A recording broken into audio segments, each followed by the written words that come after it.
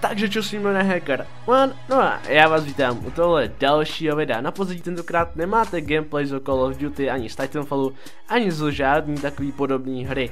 Na pozadí máte takovou ukázku ze hry nebo gameplay, řekněte si tomu jak chcete, ze hry Darkest Dungeon. O hře si za chvilku něco povíme, ale co je důležitý, tak tady v tom videu si rozebereme téma a to je hodnocení videí z pohledu youtubera. OK, hra Darkest Dungeon je RPGčko, ale není to jen tak jaký RPGčko, jako je Skyrim, Zaklínač a tak dále a tak dále.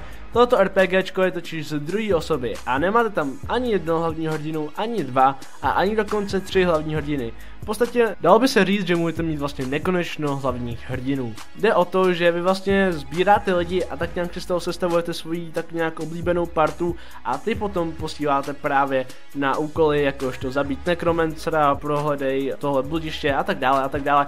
Na to bychom se již tak podívali až v dalším videu, pokud by byl o tohle tu hru zájem.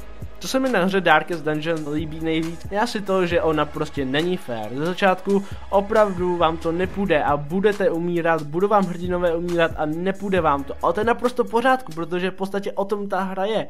Ta hra je právě dokonalá tady tím, že není fair a je hodně o náhodě. Tudíž prostě není určitý návod jako jo, tak tady máš tady ten set a podle toho prostě zabiješ kohokoliv, každýho a vždycky prostě ne. Vy jen tak nějak prostě zkoušíte nějaký kombinace, ať už brnění nebo spelů, útoků a tak dále a buď to to projde, anebo to neprojde, ale to, že vám to projde jednou, neznamená, že vám to projde dvakrát. Takže prostě ta hra je hodně, ale hodně o náhodě a tím si myslím, že je opravdu výjimečná právě od Skyrimu, od Zaklínače a od ostatních RPGček.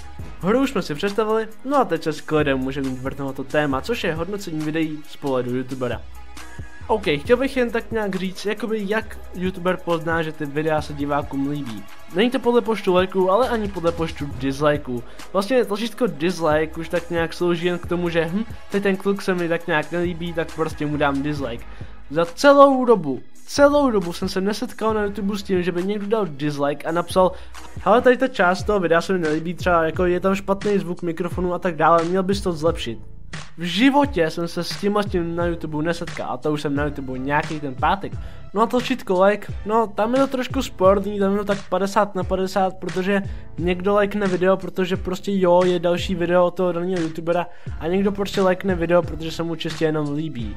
Takže tam je to trošku jakoby sporný, dejme tomu, že lajky se teda nepočítají.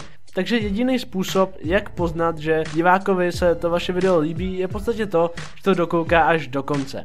Tím vám dá nejlíp najevo, že se mu to video líbí, protože kdyby se mu to video nelíbilo a nebavilo by ho to, tak by se na to nedokoukal až do konce. No a pak tu jsou komenty. U komentů je to v podstatě to samé jako u lajků.